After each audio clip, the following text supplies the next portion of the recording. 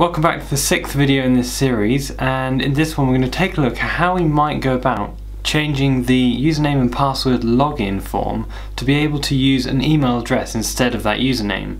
Uh, so what I'm going to do is essentially change how the uh, backend authentication works in Django uh, by changing that to an email which is what a lot of people tend to want to do instead of having this extra username field where uh, each user that registers on the site has to register also with a username and then remember that username to be able to log in with.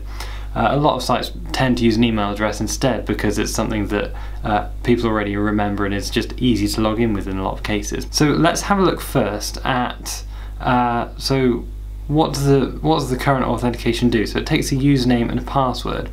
Uh, now that's built into Django that that logic. Uh, but what I want to do is override that. Now I think I'm going to do that by creating a new file to be able to contain the authentication backend uh, using the email address within. Now in this project that I'm working on we do have an accounts app which handles all of the uh, you know account based things so the authentication the registration that sort of thing so I think it would make sense to put the file with this new email backend in inside of that Django app so I'm going to do a new file just in the accounts folder and I'm just going to call it backends just in case we want to perhaps do various backends. We could always define more than one if we wanted to uh, and then change between them. Say if we wanted to have uh, an email backend and an email and username backend so that you can have the option of easily switching between them if you want if you wanted to. Uh, but in this case I'm just going to do an email backend only. Uh, so uh, we need the user model. So I'm going to do from django.contrib uh, .auth.user, sorry, .auth.models, import user. Import user. Uh, so let's define a new class. I'm going to say email backend. So this is going to be where all of the logic comes from. And uh, so this isn't going to inherit from any Django specific thing. So I just inherit from object, which is generally what you tend to inherit from if you don't have anything else to inherit from and I'm going to define a method called authenticate. Uh, so def authenticate. And that's going to take self uh, and then I'm going to take also a username and a password. Now it has to be called authenticate because that is a method that Django will pick up uh, based on how we're going to use this class. Uh, so we're going to essentially say to Django uh, in the settings, this is the class that I will want to use for the email backend. So though it doesn't inherit from anything special to give it access to uh, you know that Django so although it doesn't inherit from any Django specific class, uh, the way in which we use the class will sort of dictate uh, to Django that we want to use it as a backend for authentication. And so the way that I'm defining this method uh, is sort of a part of that. Uh, and it's also going to take kwargs in case we get any, any sort of extra things that uh, we don't necessarily know as of yet. Uh, I'm going to hide this tree view for now so we've just got a little bit more room so we can see everything on one line and then this line over here is 80 characters which is generally what I try to stick to when I'm uh, writing Python code. Now, all I want to do in this authenticate method is return none if I don't want to log the user in. Uh, so that's just fairly straightforward. If I didn't want them to ever authenticate, I would just return none here. But since that's not the purpose of this class, I want to return a user object uh, if I do end up authenticating them. Uh, so the way that I'm going to do that is I'm going to assume that the data that's entered into this form is still the username because that's how the default authentication authentication works. But because well, we could change this form text to say email, so that's sort of irrelevant. We can do that quite easily. Uh, if they entered their email into this box, Django would still see it as a username. So hopefully this isn't too confusing, but I'm still going to assume that uh, Django passes in what is essentially a username but that will actually be the user's email address.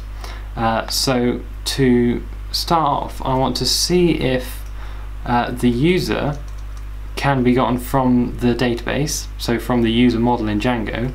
So user.objects.get, and then what I want to do here as I was saying is instead of compare okay is username is equal to username uh, instead what I want to do is I want to say email so at the moment it's just comparing if username is equal but if I say if email is equal to username it's going to compare whatever is in the username field.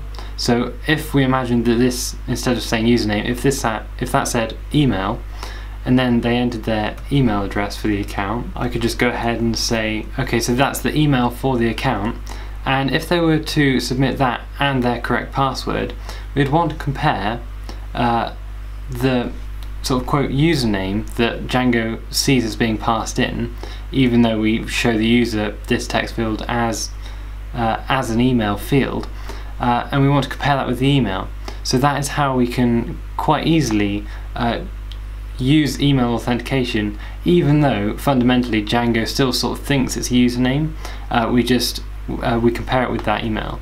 Uh, so that's an easy way of using the built-in authentication to be able to sort of circumvent having to actually provide a username uh, now that could fail so what if there's no user in the database? Well I need to catch that exception. And really all I want to do in that case is uh, return none. Uh, so if I do except uh, user dot does not exist. So that's going to be the type of exception that's going to be raised if it can't find a user at all. And so I just want to return none uh, but also this could technically I think it could return multiple values.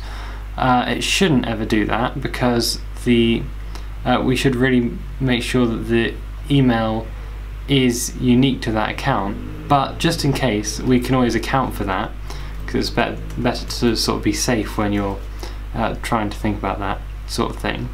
Uh, and so this exception is going to be uh, so user dot multiple objects return.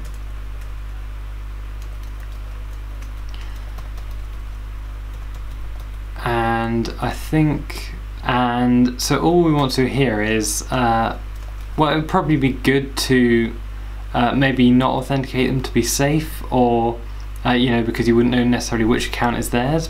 Uh, but in this case I'm just going to be lazy and I'm going to do a filter and essentially just pick the first one of the list that is returned. Uh, so let's say just the first one that's entered into the database. So if I order by uh, ID and that should give us uh, the list. So we want the first from that list. So it would be the zeroth index in that list uh, that list of user objects uh, so that's going to re return none if there's no user instance so that should be okay. Uh, now that I've done that so I think what I'm actually going to do in fact is change this to first because first is sort of uh, more suited to this sort of purpose. Uh, although it doesn't really matter I don't think. I think both would probably have worked. But what I want to do now is I want to say if the user is active, so if the account itself is active, and also if the password is valid, because remember we haven't checked the password yet, then we can log them in, otherwise just return none. So, well let's start with that. So return none, so if nothing else, it's at least going to return none, which is what would happen anyway in Python I suppose. But what ideally we want to happen is we want to return the user. So let's say if getattr, so I'm checking for the attribute on the user model, and I want to say the is active attribute, and so if the password is valid, then we're going to return the user. So to do that, I'm going to say user.checkPassword. So that's a method again on the user model, uh, just standard Django. And I'm going to say I'm just going to pass the password into that. So remember we have access to the password here. All I'm going to do is pass that in and then return user if that all succeeds. Uh, so this is pretty much the bulk of the authentication backend done, but in actual fact, for Django to use it as an authentication backend, there are two required methods, not just one. So the other method on the backend that it requires you to define for this use case. And all that does is, based on a primary key, it simply returns the user object. Uh, so for the standard Django model, which is probably what most people are going to be using, uh, that's quite straightforward but it gives you this option so that if you did want to completely ignore the Django user model in favour of perhaps your own completely custom user model, then it does give you that option. Uh, so to do that I'm going to say get user and this is going to take just self as well as uh, I guess the primary key which we can call user ID and this is going to also be a try except block so I'm going to try to get the user uh, so user.objects.get and the primary key is going to be equal to the one that was passed in. And then if it can't do that I'm going to say so it probably doesn't exist uh, does not exist. And then all I'm going to do in that case is I'm going to say return none. Uh, so I expect except so just like that uh, and this is going to be equal to user or in fact what we could just do because we're just going to return that immediately is we can say return so we're just going to return that straight away. Now that I've done that I've pretty much finished the implementation of this email backend class the only issue with it is that we're not actually using it at all in our Django project so we need to be able to integrate that somehow into our project uh, and allow it to replace the one that's currently being used. Uh, so to do that I'm just going to go to the settings, I'm going to open up this tree view, I'm going to come down to settings, I'm going to put it in base settings. And just at the end of here I'm going to add another setting. So it's going to be called authentication uh, backends. Now this is plural so it's going to be uh, an iterable. We can either make it a tuple or a list so I'm just going to define one for now and I'm going to say uh, it's just going to be the location of the backend. So in this case it'll be accounts, backends, and then email backend.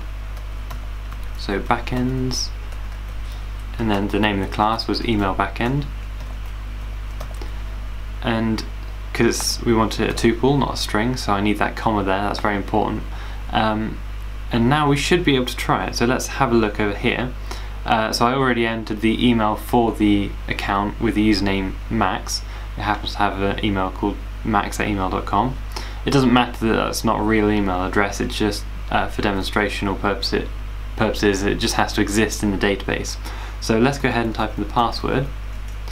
And cool so that authenticates. So it's it shows us that uh, this was working correctly and presumably if we log out and then we try to log in with the username so this is the same password it says uh, incorrect username and password now this hasn't been updated so that would be something else that we would need to change if we were going to just log in with the email consistently um, uh, but that's not too difficult to do. That's how I personally write the custom email backend in Django.